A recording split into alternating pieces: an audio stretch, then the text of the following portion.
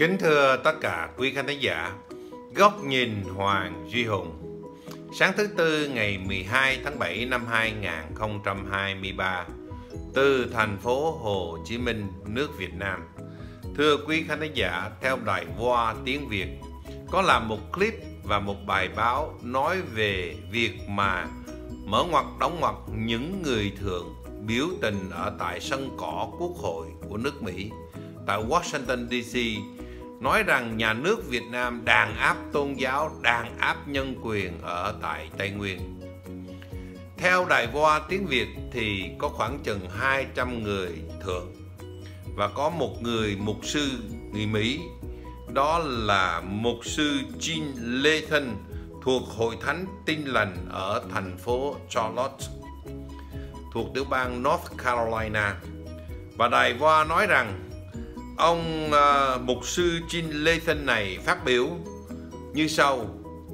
Tôi biết rằng cuộc đàn áp ở Tây Nguyên Việt Nam hiện nay tồi tệ hơn bao giờ hết đặc biệt là tình trạng chống Thiên Chúa Giáo. Đây ám chỉ là tin lành đó Tôi biết ngay cả trẻ em cũng đang bị chính quyền Việt Nam tra tấn và giết hại.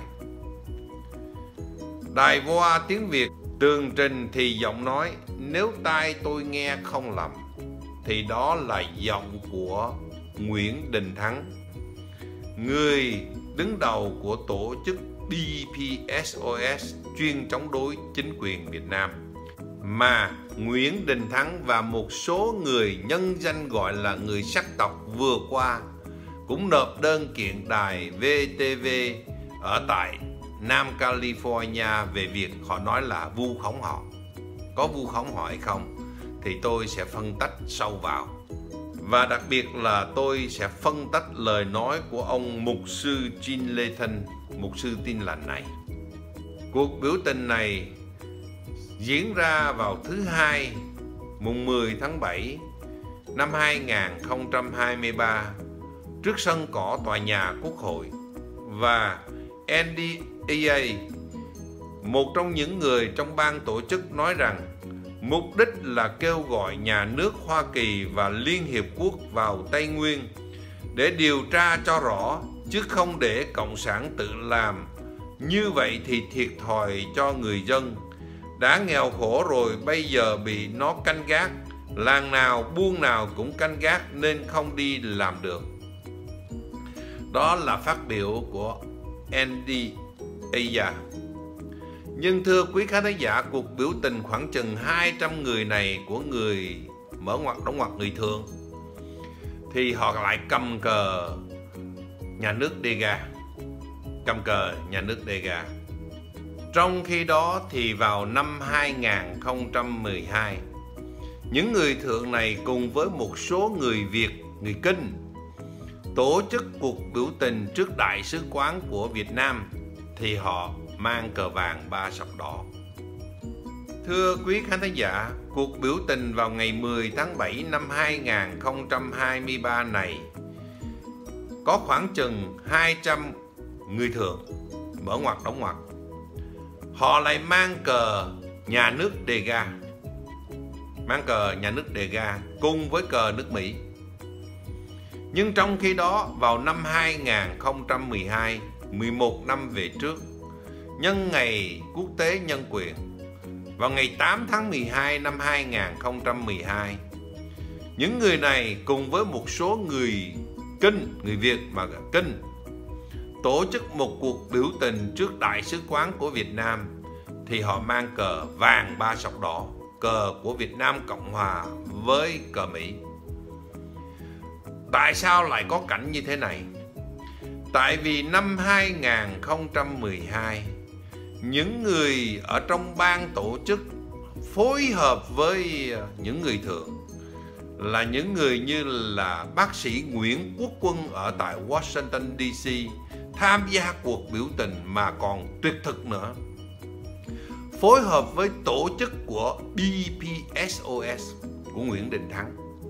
Khi ấy Nguyễn Đình Thắng phải dương cao ngọn cờ vàng ba sọc đỏ không dám đưa ra cờ đề gà là vì Nguyễn Đình Thắng cần có những sự ủng hộ của những người Việt Việt Nam Cộng Hòa Nên chúng ta thấy là họ dăng những biểu ngữ ủng hộ linh mục Nguyễn Văn Lý, ủng hộ người này người nọ mà họ nói là dân chủ ở trong nước.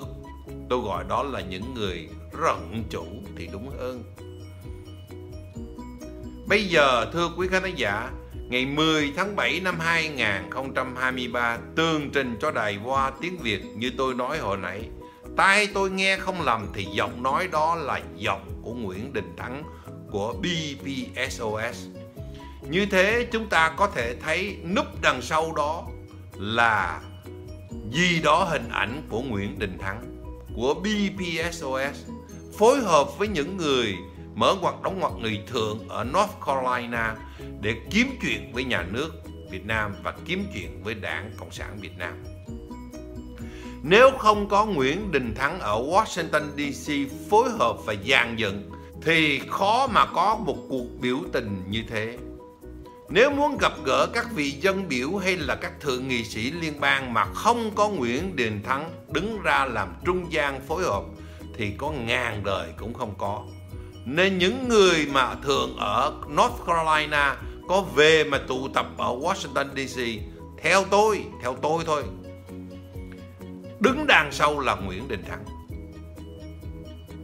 Nguyễn Đình Thắng dàn dựng tất cả những cái chuyện này. Trước khi tôi phân tích sâu vào lời phát biểu của mục sư Gene Lathan và lời phát biểu của ban tổ chức Andy Aya thì tôi xin gửi hai hình ảnh có sự khác biệt như thế. Đầu tiên là hình ảnh mà cuộc biểu tình trước Đại sứ quán Việt Nam ở Washington DC vào ngày 8 tháng 12 năm 2012 chỉ có mang cờ vàng ba sọc đỏ và cờ của nước Mỹ. Còn hình thứ hai là cuộc biểu tình vừa qua, ngày 10 tháng 7 năm 2023 mang cờ nhà nước đề ga và cờ của nước Mỹ. Đây là hình ảnh của hai cuộc biểu tình.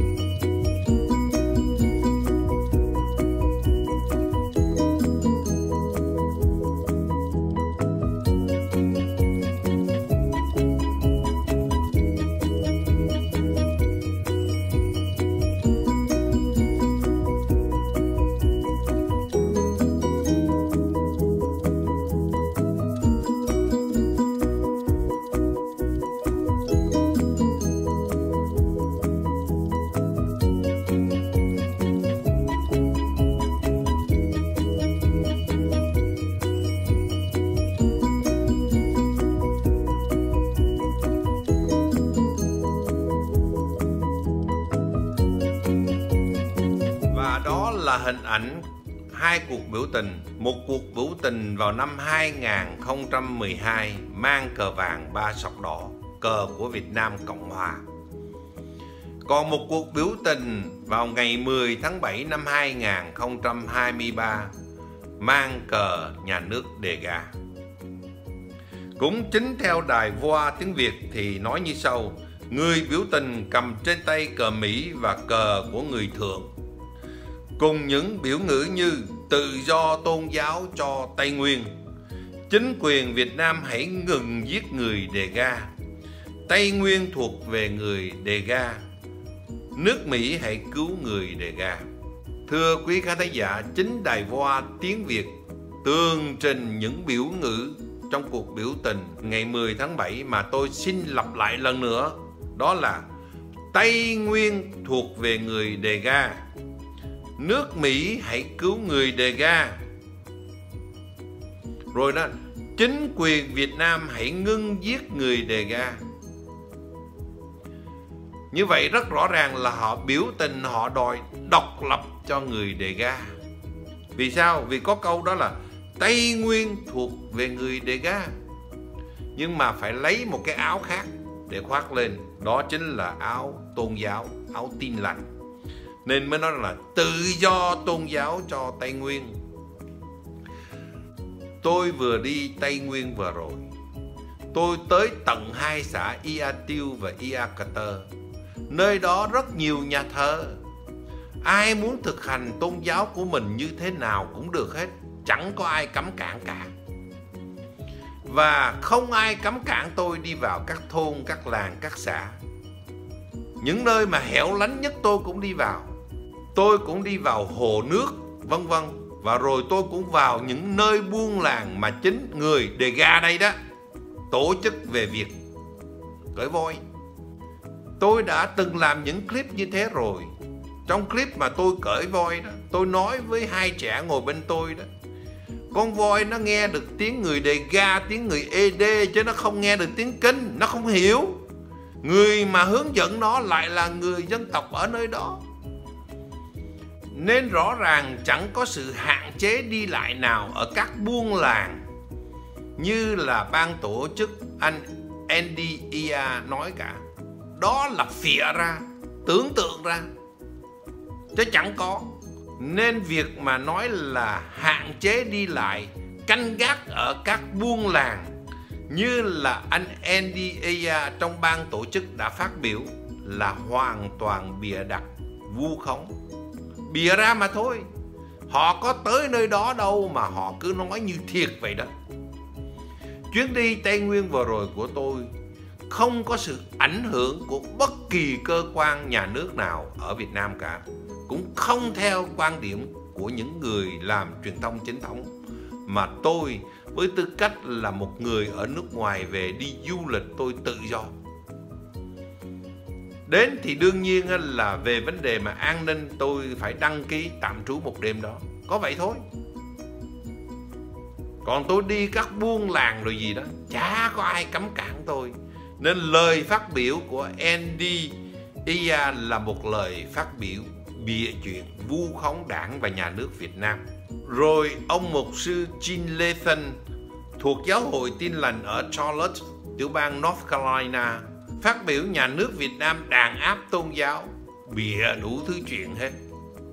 Cứ về Việt Nam đi, cứ ra Tây Nguyên đi, xem thử nhà thờ mọc lên như nấm như thế nào. Người dân á, sáng dậy nghe đổ chuông đi nhà thờ hoặc là ở các nhà thờ tin lành tha hồ đến và đi đâu ai cấm cản chỉ đừng có kêu gọi những việc mà không có an ninh trật tự đừng kêu gọi bạo loạn. Có thế thôi, còn thực thi tín ngưỡng của mình, nhà nước Việt Nam này hỗ trợ nữa kìa.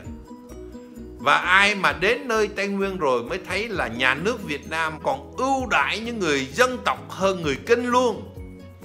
Trường xá thì xây cho họ thật ngon lành, sát cạnh bên đường lộ.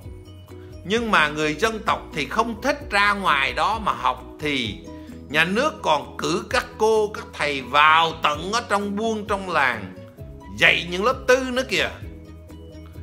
Muốn mượn tiền thì còn dễ dãi hơn là người kinh. Đối với người dân tộc, thì nhà nước đối đãi rất là ưu tiên. Tính tình của họ, thì ai ở với những người dân tộc nơi đây biết rồi. Họ thích cuộc sống tự do, thích cuộc sống gì đó không có phải cực nhọc làm việc. Trong khi đó, người kinh thì rất cần cù và làm việc từ sáng tối tối, có thể ra ruộng đồng, bán lưng cho trời, lúc nào cũng được hết. Người kinh làm việc rất là chăm chỉ cực khổ. Trong xã hội, ai chịu khó thì người đó được hưởng thôi. Nên đừng có mà có những luận điệu xuyên tạc, bịa đặt, vu khống đảng và nhà nước Việt Nam. Tôi là một người từng chống cộng cực đoan nhưng khi tôi trải qua những cái chuyện như vậy nè, tôi phải nói lên tiếng nói của lương tri của tiếng nói công tâm. Thưa quý khán giả như vậy rất rõ ràng đối với tôi nha, đối với tôi đây nè. Đằng sau những vụ này đều có hình ảnh của Nguyễn Đình Thắng đều có hình ảnh của Boat People SOS và tôi còn nghi rằng là họ hợp tác với đảng Việt Tân để kiếm chuyện với đảng và nhà nước Việt Nam qua vụ khủng bố vừa rồi ở Tây Nguyên. Không có Nguyễn Đình Thắng mà phối hợp những chuyện như vậy thì không có những cái cuộc biểu tình ở tại Quốc hội nước Mỹ đâu. Đối với tôi, những ai mà ủng hộ cho một nhà nước độc lập đề ga thì những người đó là những tội đồ dân tộc vì nước Việt Nam chỉ có một thôi dân tộc Việt Nam là một có nhiều sắc tộc nhưng chỉ là một. Anh em với nhau. Không thể nào tách rời ra, trở thành một nước độc lập như trong cuộc biểu tình mà chính Đài Voa nói. Họ mang những biểu ngữ Tây Nguyên thuộc về người đề ga. Đó là ý đồ của họ là một nước độc lập. Vậy mà những con người như Nguyễn Đình Thắng ủng hộ đó, có chấp nhận được hay không? Có chấp nhận được hay không khi mà họ đi vào hai trụ sở để bắn chết bốn công an, hai lãnh đạo và người dân thường người dân thường có tội gì và với một con người và một tổ chức như Boat People SOS hỗ trợ cho những người đề ga đòi một nhà nước độc lập, thì tôi hỏi các bác chống cộng cực đoan, Việt Nam Cộng Hòa đó có chịu được hay không? Năm 1964 họ đòi độc lập. Thì chính tướng Vĩnh Lộc, tư lệnh của vùng 2 chiến thuật, đã điều động sư đoàn 23 bộ binh, lực lượng dù sẽ tăng thiết dẹp tan họ, không thể để cho họ được độc lập. Thế bây giờ đó, các ông, các bà là hậu duệ của Việt Nam Cộng Hòa đó đó. Có nghĩ rằng hành động đó của tướng Vĩnh Lộc đúng hay sai?